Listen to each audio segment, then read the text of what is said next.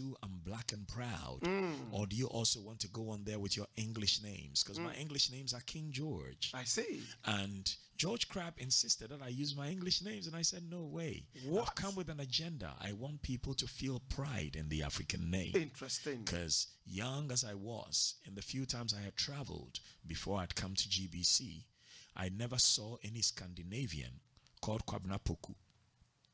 I never saw any Englishman called Ayariga. No. I never saw any Dutch called Mahama. Mm -mm.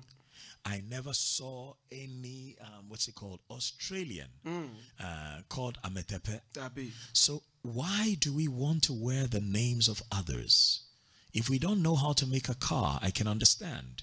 They make beautiful cars that we cannot make. Let us buy those and then let's learn to make those. Mm. But what about our names? Are our names so evil? Are they so bad mm. that because you want to go to church, somebody has to change your name? That's right. I don't understand it.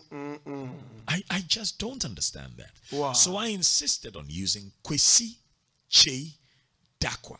Now, those were five syllables. Mm. Now, that was a lot. See, because Kyei stands by itself, mm. Kwesi stands by itself, Darkwa stands by itself. Mm. I'm not the only one who had five syllables mm. because Godwin, Avenorgbo, six syllables, mm. but those were only two names. Mm.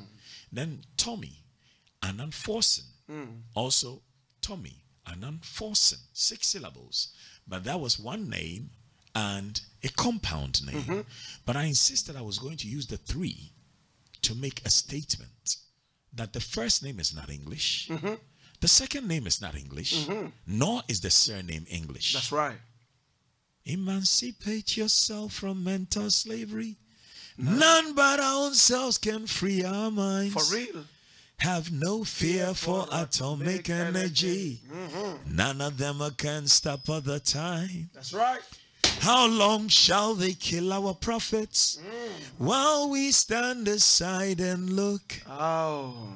Some say, you know, so what, what you got to fulfill. So when I, when I think of it, mm -hmm. think of your ancestors right. who were whipped on the back and told, "You name Toby." Mm -hmm. And they said, Me name Kunta Kinte. Kunta Kinte. And they were whipped on the back. That's right. Till they forced, they were forced and accepted to call themselves by another man's name. That's true. Why then, in freedom, when there are no shackles on my ankles, no manacles on my feet or my hands, do I want to still